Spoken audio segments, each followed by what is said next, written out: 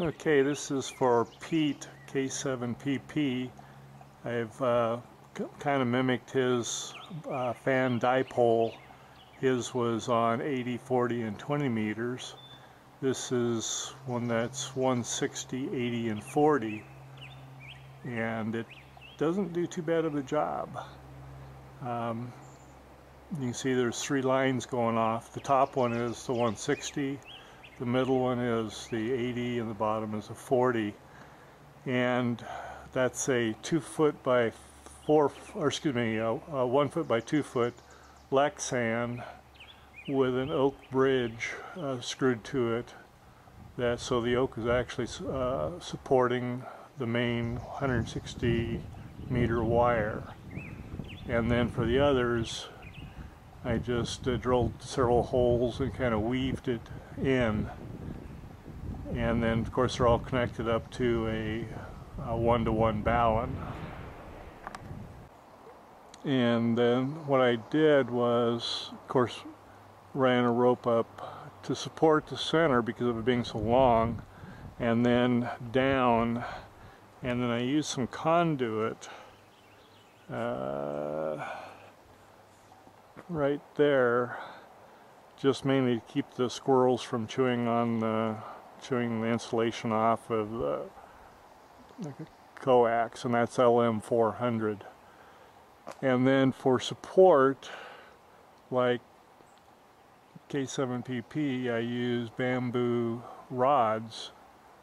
I just happen to have several thousand of them because uh, of raising trees and then used a silicone stretch tape to secure them and then it runs down.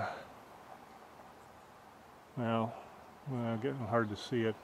Anyway it uh, runs down there. Okay. That is the the center is the 40 meter. And as you can see it basically just took uh, two bamboo sticks and then uh, wrapped them together for support, pulled it tight, and then with an additional support there.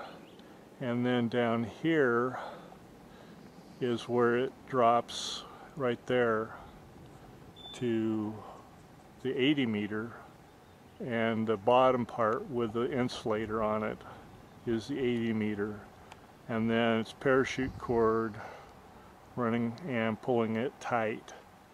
And I must say his, his design worked out really well. I'll show you what the SWRs look like on it here in a second. Okay I'm going to show you the SWR for 160 meters with the fan dipole. Here set for 160 meters.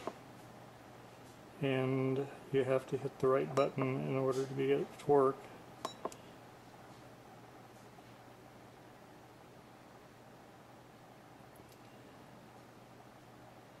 So not not all that great, but not bad.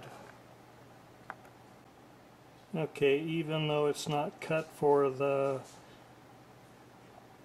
60 meter band, I thought I'd go ahead and show you that.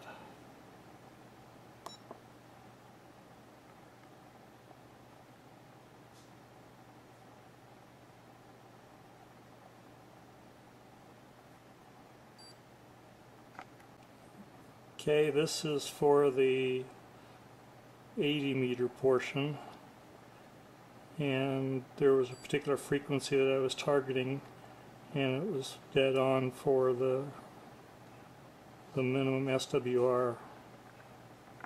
Okay, this is for the 40 meter band.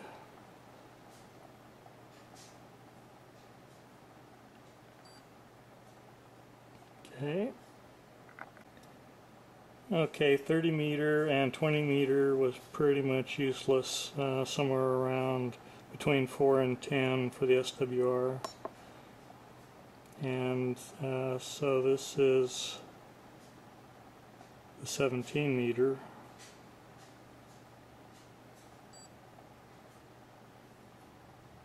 which also apparently is useless. That's interesting because before when I ran a test on it, I was right at 2 to 1. So apparently something that I did with the modification changed that. Okay, this is the 15 meter band.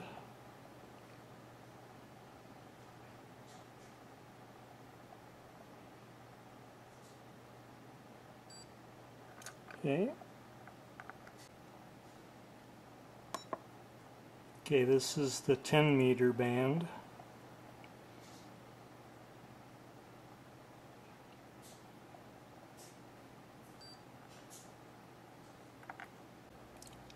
Okay, now on the 6 meter band.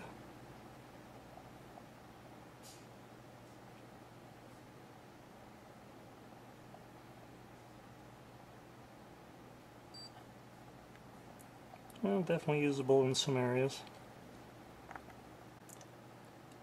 Okay, this is the 17 meter band which I was so perplexed about and let me show you why. I took some photos before when I was uh, had just had it up and without a one-to-one -one balun and the only thing I changed was I put the one-to-one -one balun in at least it's the only thing I can think of that I did that might change things but whatever I did it definitely made a big difference on 17 meters. Oh well